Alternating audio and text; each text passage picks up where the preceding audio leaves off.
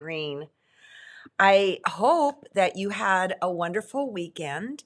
Today's little episode, I'm very excited about. I got an interview with Barbara Brackman, and I'll talk about that in a little bit. So I just want to get time for people to log on and all that good stuff. Um, this weekend, I went through more fabric, so now I've got three big boxes that somebody's going to win, and or it's going to be one box to each person. You'll have to help me decide that. I was kind of people or ha- have days like that where just the couch is your best friend, just your best friend. I I really didn't want to do anything, okay? So I ended up finishing up Wentworth, which is on uh, Netflix, and it is not for the faint of heart. I mean, I was addicted to it, but there is blood, guts, horrible, awful people and wonderful people too. So if you're of the faint of heart, I do not recommend it.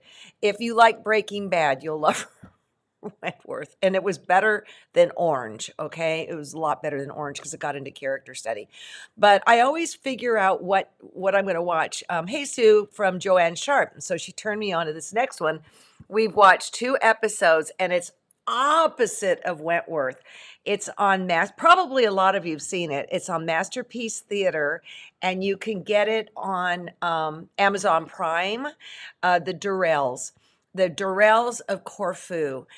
It is so sweet and so again opposite of the the, the bad ones that are out there. And basically, it's about a woman who has one, two, three, I think four kids, and she's in England. It's during the 30s. She's lost her husband, and the kids are just poops, okay?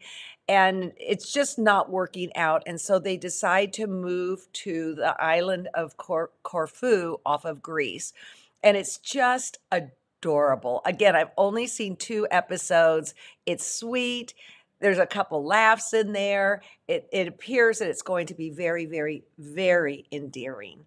So, what else do we have going on here? Look at all you people. I hope you had good weekends. Got a lot of people on here. Yay! Oh, also, uh, Dee Christopher's show is airing right now. And I feel, you know, I'm not, I'm, I just love Dee. And you, of course, she's the one that's teaching our Saturday sampler. And Dee, I met when we moved to Livermore. I believe we talked about it on the show. And this is how I think of Dee, okay? She was in Livermore for, well, uh, when I moved here. And she is, to me, the mommy duck with baby ducklings she has brought so many people into the quilt world. And one of the things, uh, she, she gets these followings going and all that. And the good news is, people, I think she's moving back up here this summer, this area. Okay, people are asking about whether to pre wash spinning spools. I probably would. And I saw another question was should you separate out the lights and darks? You know, do what I, I am not going to tell you how to pre wash your fabric because my water is different than your water. All right. If it makes you nervous, just, you know, rinse them out in two different loads. Or when you do your jeans, throw the darks in. When you do, you know, your dish towels, throw the lights in or something. But I probably would pre wash it. Did I? No. And I don't know why, but it's a different, this fabric is a different texture. It's just different. All right. So it's beautiful too. I'm hearing from a lot of people that they get it and they just go, ah. Um, so the pattern, we're going to start on Wednesday. And it is, don't get your hopes up too much with a grand pattern, but we'll have up on the site what you need to have for us to work together and do our thing. I didn't put it out purposely because on previous projects we've done, there's been plenty of yardage, plenty. Um, and this one, it is tight. It is tight. So there's certain ways I want you to fold it and cut it, etc., etc. But back to D. Uh, she's she's she is our Saturday sampler girl, and she also shows airing right now. So back to D with the duck and the ducklings. I I digress. John asked a question, and there went the squirrel. So so she brings in beginners like there's no tomorrow, but she also teaches children. And she is very good with children. Let me tell you. Well, she's an, been an educator on all grade levels, all the way up to college right now. And so she has a very um, straightforward way to work with kids, things you might want to consider. And then we do another segment on a star block, and it carries into the kids' stuff. Then we do show and tell. And then she's doing some really cool um, off off topic arty type things that I think you'll be very impressed with. In fact, a lot of it has to do with uh, decorative paper napkins. And it, I was in a I was in a dream the other day that there were all these decorative paper napkins that I could get a nickel each. And I thought, you know, I should be buying those. And it was because of the remembering of the show. So make sure you check out Dee's show. She's just salt of the earth, and she knows her stuff. Now, the other thing is, two weeks ago, she did the isosceles triangle and the square, and she got befuddled by it. And so I talked to her, and before she did um, pineapple this last Saturday, she showed how to paper piece it. The reason she didn't show how to paper piece it the week before was she thought there would be too many moving targets of how to follow along when you're teaching. You know, when you teach, you got to kind of figure out, okay, what am I going to say? What am I not going to say? And go from there. So somebody else at Oh, I am still taking uh, questions for John. You got some good ones, and um, he will be doing Friday because I'm going to be in Joanne Sharp's class. I'm so excited. It's Thursday, Friday, Saturday, and actually Wednesday. As soon as we're done here, I'm out of here. I'm going to go have lunch with um, Wendy and Meryl and uh, do some exchange of stuff. And I, it's like it's almost feeling normal. I've just got to get my energy back up. It's like I'll be around people for too long and I just want to go hide. But I am an introvert.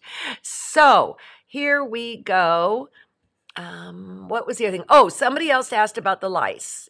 John wants me to do a whole thing on the studio, and I will, but I know some of this stuff you need to know now because you're in the same position. I had halogen lights, and they were too hot, and they could take down the Livermore electrical grid. And I believe I spoke about this before, but this is what I'm using.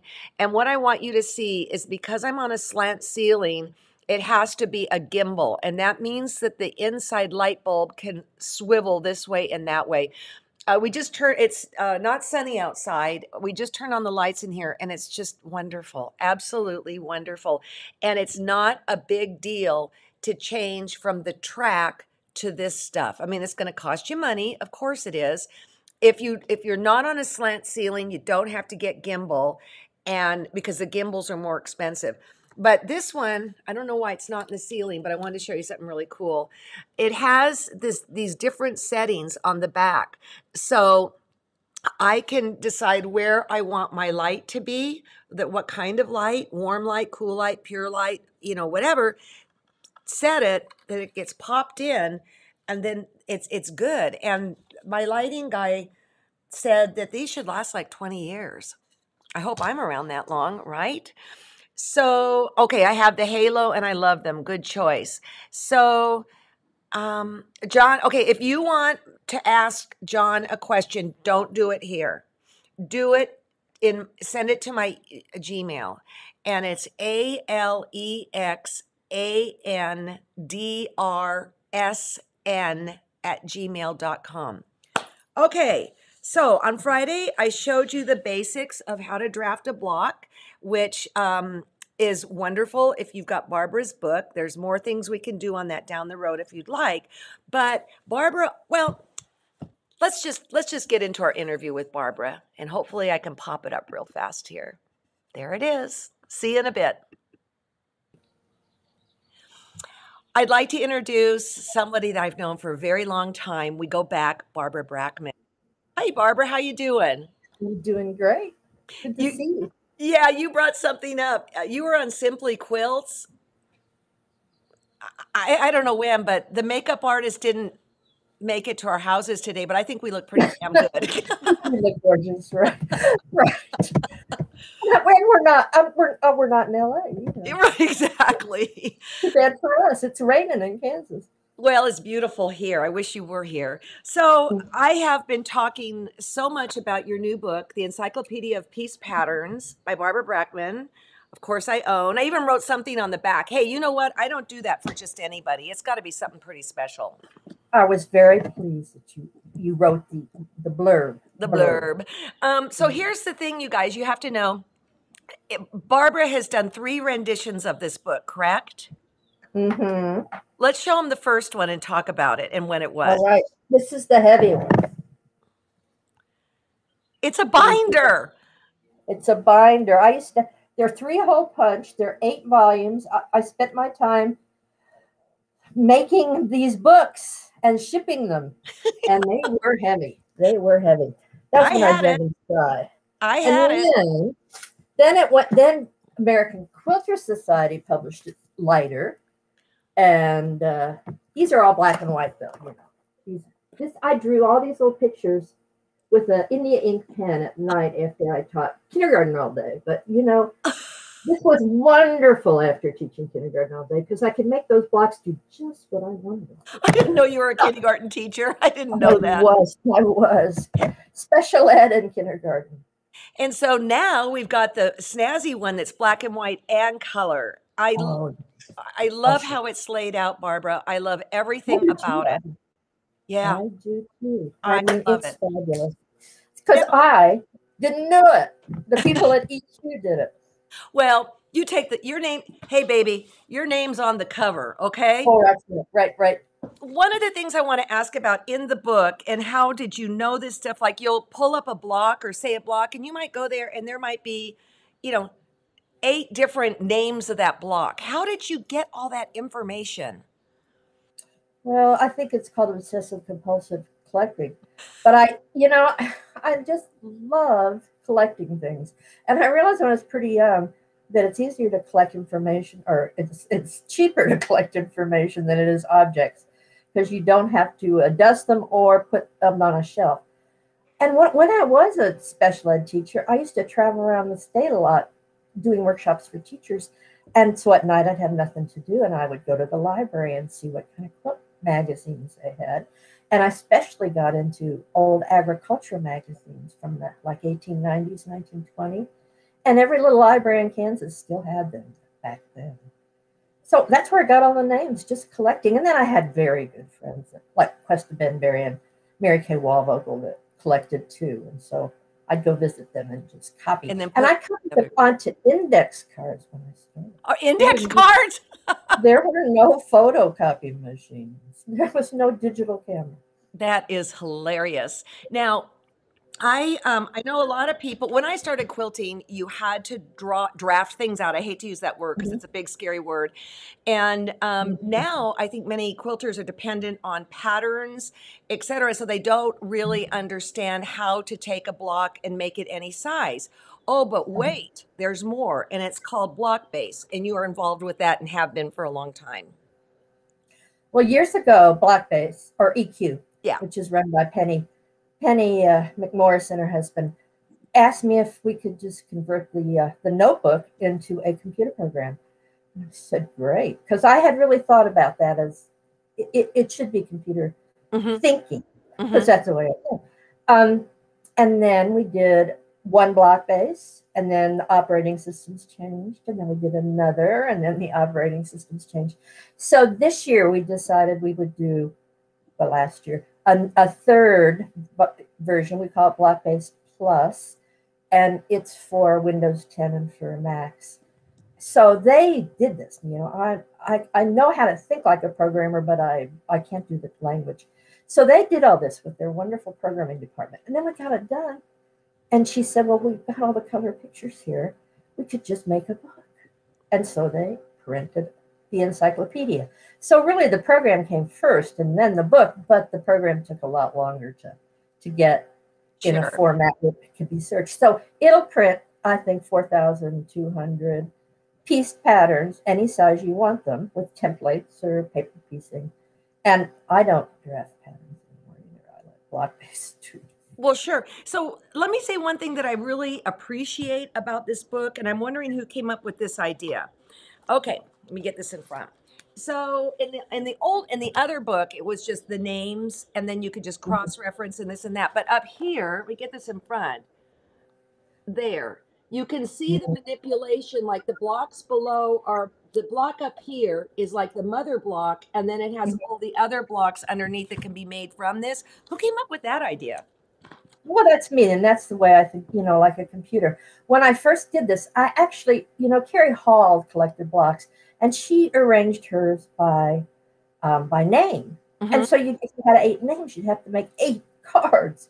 So I thought if you did it by seam, seam allowances, sort of think them like a computer, um, you it would be more efficient. And then you know you just get addicted to going. I wonder how many stars there are that are structured on this exact same seam allowance or seam lines, but then more detailed, more details. And so that's sort of how it grew. I, I can't I honestly I can't and I'm not just saying this because I've got you here. I can't imagine this not being on every quilter's bookshelf. Period. It when I would when I would write my books, you know, and they'd have like Mhm. quilts in it, you know what I would do? I would sit down and I would just go through and then I'd start putting post-it notes like I like you, I like you, I like you. And I I use it like there's no tomorrow. Post-it notes. Post-it. There you go. Now Now you are hanging out with some people I know and some people I don't know. And you have a YouTube channel and it's called The Six Know It Alls. Yes. Six spelled out.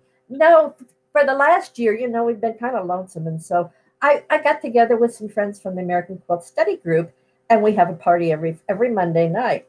And there's six of us, and they're all know-it-alls. Uh, Julie Silber, oh, she knows everything, and Merikay Waldvogel from Tennessee, and then uh, some museum curators, um, Lynne Zacek Bassett, who's from New England and knows everything about early New England quilts, and Alden O'Brien, who's the curator at the DAR Museum in Washington, and then our good friend Debbie Cooney, who collects quilts and knows all about Maryland and edited, co-edited the Maryland book. So we get together and you know we'd sit around and say, "What are you doing?" Well, we weren't doing much last Right. year, so we start showing each other quilts. What do you think about this? What do you think about this? And we all had opinions and disagreed sometimes, but it's so wonderful to have people from five different, six different areas.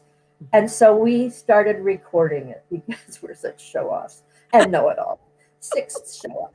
So then we've been putting it up there, oh, at once a month. And our friend Tara, Tara Miller, who's our IT girl, IT guy, she's really knowledgeable about uh, YouTube and streaming and things like that. So Uh-huh. there's really seven of us. But Tara won't be on screen. She says uh, she's behind behind the camera there. So look up six know-it-alls on YouTube, and we ha- we have a a web page, a Facebook page that'll give you some information too. But we're going to try and do it once a month for the next year. Um, and we have many books to look at. We, oh, wait a minute! I don't want. I want to hear what you guys say about this one. So um, we'll go on. I I um I got I think one of the original emails from Julie, and I just it was I think we might have even put it in our newsletter. It just slayed me. I thought it was hilarious because here's the thing: you and you guys have been around the pool hall for a long time, and so. and so have I, and so have I. In fact, I think Julie asked me to be a guest on one, and I was busy or something. I want to be a I want to be a part time know it all. Well, you know, we, if we're going to do it once a month, we have other engagements. Like uh, we're we're optimistic. We might even have a real life pretty soon, so we could go places and like go out. But um, so we're going to have only five know-it-alls, and that doesn't. That's lying. That's that's misrepresentation. So we'll have guests know-it-alls. so that you can have a guest. I can be like the you know the extra person on the View or whatever, you know.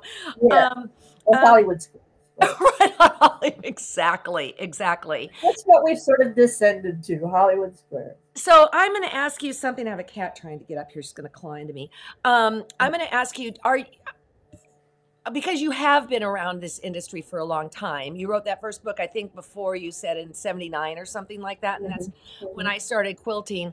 Are you amazed at how the industry has morphed and changed and all that good stuff? Not my pal. Oh, Goes. am I amazed? Well, I just sit back, you know, you just start, oh, another technological change. My computer, well, we both have been having computer trouble. Um, you know, you have to keep up constantly. And then Tara throws this YouTube stuff at me. Tara, I don't want to be that good. Um, but am I surprised? No, because, you know, change accumulates.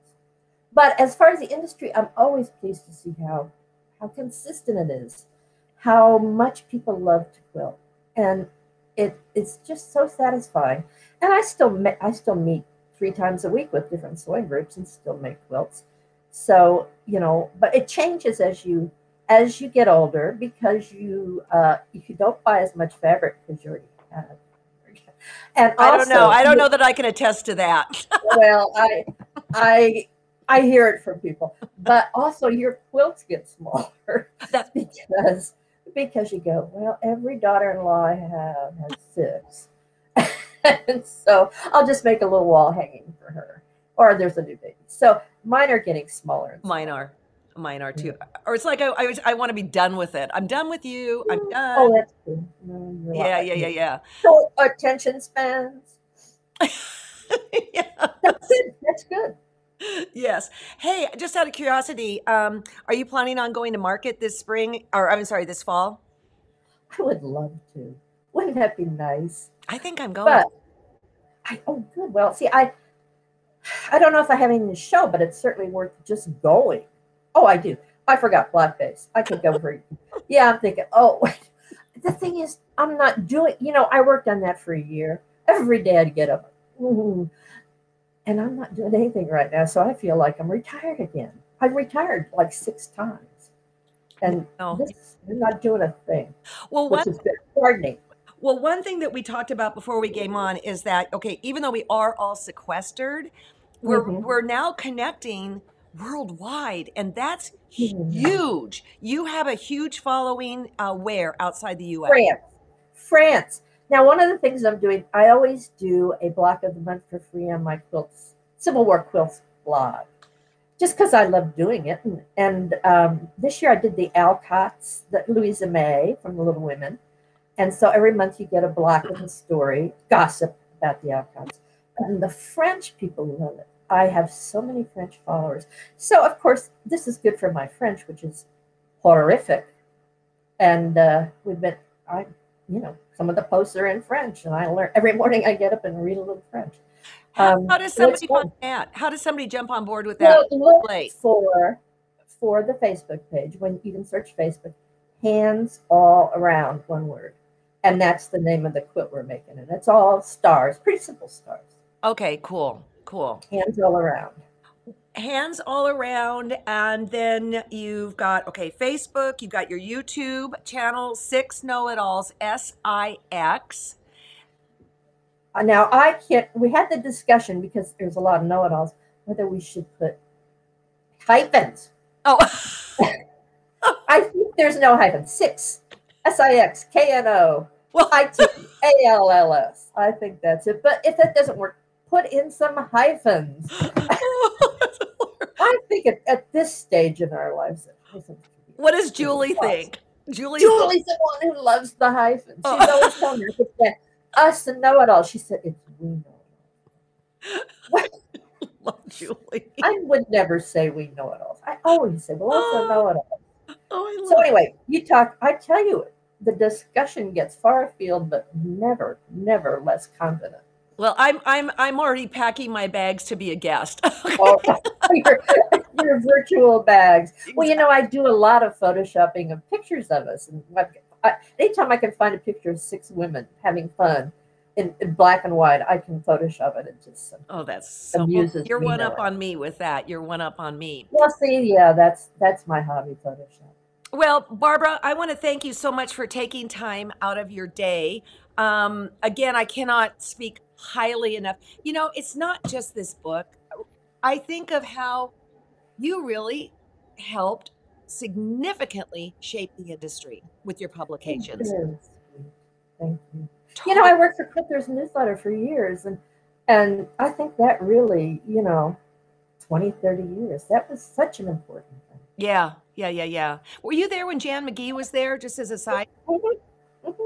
Oh, I love her. Yeah, but you know, I know it's we didn't do it digitally. I mailed things in, and once a year I'd go out and sit around. So I really, you know, didn't know the people so well. Just right, like right, right. But I talked to Bonnie constantly on the phone, you know, because she didn't go out. She had to run a magazine, and she'd say, "What did you see? What did you see at market?"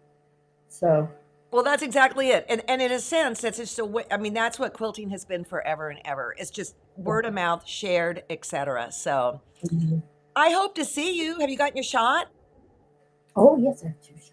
Then you need to be at market. I have two shots, and my girlfriends and I are meeting inside without masks, five or six of us at a time, and having so much fun. I mean, it's only been two weeks, but uh, we're following Dr. Fauci's. So am I. Hey, you want to who, know who I'm going to be hanging out with in a couple weeks? Ooh. Joe Cunningham. Mm. I get I to don't I don't care. oh, you're lucky. I love Joe Cunningham. we make him a know-it-all, but we're terrified of him. we wouldn't get a word, and he knows it. We wouldn't get a word in edgewise. Oh, he's great. So, yeah. thank you so much. Have a great weekend, and um, I know people will enjoy this. That you're the brains behind. The, well, you and then EQ too. EQ. Fabulous. EQ. You. Yeah, I I can't wait for Barbara Brackman. exactly. exactly. Thank you so much. Thanks, Barbara. Have a great weekend. Barbara Brackman week. I got to tell you, that was an infomercial right on. And it's because I so believe in this book. And then uh, Carmen asked, "Is there a computer, um, you know, add-on?" And yeah, we talked about that. And I have some pretty exciting news about that. Okay, we were gifted uh, BlockBase, all right, the computer program. It's the new one she was talking about, uh, Block Block BlockBase Plus, and one of you are going to win it. Now, if you can't wait until Friday when John says who the winner is you can go order it, get it. And then if you happen to win, we'll just credit you your money back. But this is absolutely fabulous. She said 4,200 quilt blocks. Here it says four, but um, yay! I I'm so excited for her. You know, it's so funny because I see Barbara once in a blue lagoon, and it's there's just so much commonalities with us as quilt makers. Uh, Gloria, I, I saw that you were having trouble ordering something. Um, we're working on that like there's no tomorrow, but everybody, the best way if you're having problems is to call customer service at thequiltshow.com. All right. Because it, it, right, John? Customer service at thequiltshow.com. No, no, she's not having trouble that way. We didn't oh. have any spinning spools up. I just put 30 in. Oh, okay. Then, uh, Gloria, I got this wrong. Um, but what remember, if you guys have problems, that's the best way to get hold of us. She was having a hard time finding spinning spools because we're cutting as madly as we can and trying to make sure we don't put up more than we have available. John just put 30 more in the store. So there are 30 more kits there. Yay. Thanks, John. Um, we are going to, I'm looking at my little notes here. Oh, so how do you maybe win this? What you're going to do is in the newsletter today, there was a place where you could click and go and throw your name in the pot. You could also go to uh, the site itself. And Kristen did something really fun. Okay, you throw your name in the pot, give us your correct email address or we can't get hold of you, right? You throw your name in the pot, but then you get one vote. But then she takes you on a virtual scavenger hunt, and it's super easy, uh, where you could potentially get four more um, tickets in the pot. So you might want to go do that. Again, John will be doing. He John gets to be Santa Claus on Friday because, but I'm going to be in um, Bliss in Joanne's class. All right, so yay! You've been so patient. Spinning Spools is this Wednesday, but I think I'm going to put it off for a month. I'm kidding. and what we're going to do on Wednesday. Okay, so Pauline, that means you can enter potential you can enter once But within, and if we find if we find you do duplicates, you get knocked out. So don't be a cheater, okay? You enter once, but within that one time, then you have a potential to pick up four more, okay? Just by scooting around the site. And Kristen made it really easy. Like she gave links to where you need to go and all that kind of stuff. So on Wednesday, we're going to talk about pre-cutting some stuff. We're going to cut talk I'm going to get you ready to go, all right?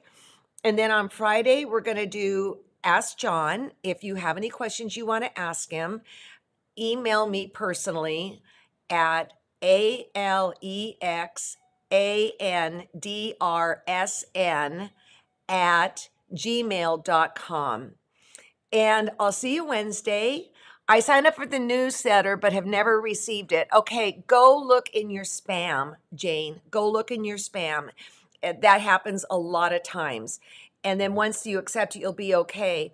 And if it that's not the case, get hold of us at customer service at thequiltshow.com because we have it's easier for us to do via email, okay? When will the spinning spools, Ronnie? I'm going to put it up um, like Wednesday. It'll be up Wednesday when we start. It's it's it's a content guide, is what it is. I mean, it's up there, but it's a content guide. Yes, You do not need EQ to make BlockBase work. you do not need EQ to make block base work. You do not need EQ to make BlockBase work. Okay, you may be talking more about that on Friday. What happened also this weekend is our dishwasher broke, and the is that the repair guy that just came, Steve? Yeah, so Steve's here to fix our dishwasher. If I had to pick one appliance, that would be it. not my refrigerator, not my washing machine. If something has to break, make it my dishwasher. But please be able to fix it, Steve, because I love, love, love, love, love, love this dishwasher. Okay. Uh, love these lives. Look forward to more of the quilt math lessons. I think MJ, you might be the only one. okay, I, uh, I today's crazy. I've got a lot of things to do, and I look forward to seeing you on Wednesday. And if some of you are going to do these in scrap, I can't wait. So have a good day, you guys, and I'm going to go see if we can figure out what the heck is wrong with my dishwasher. Bye bye.